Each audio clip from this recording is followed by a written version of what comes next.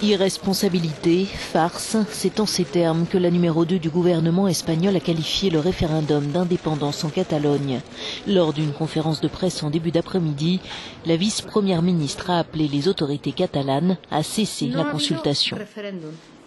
Il n'y a pas eu de référendum ni quoi que ce soit qui ressemble à marteler Soraya Sáenz de Santa Maria. Jamais cela n'a eu de sens d'emprunter cette voie de l'irrationnel et cela n'a pas de sens de continuer.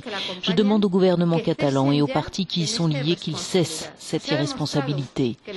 Nous avons montré que l'état de droit démocratique fonctionne et qu'il dispose des outils pour que les décisions de justice qui protègent les droits de tous soient appliquées. L'irresponsabilité absolue du gouvernement catalan a dû être suppléée par le professionnalisme des forces de sécurité.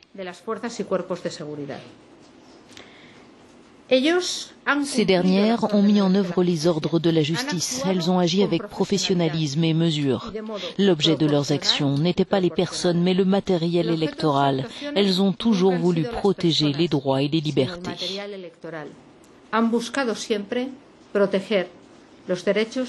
Je ne sais pas ce que M. Puigdemont a vécu dans sa vie, mais la démocratie espagnole n'a jamais fonctionné comme cela. Il y a longtemps que nous nous sommes libérés d'une dictature dans laquelle un homme disait que ses paroles avaient force de loi. La loi, c'est ce que dictent les parlements, dans le respect des normes démocratiques, et la loi, c'est ce qu'appliquent les tribunaux et que font appliquer les forces de sécurité de l'État.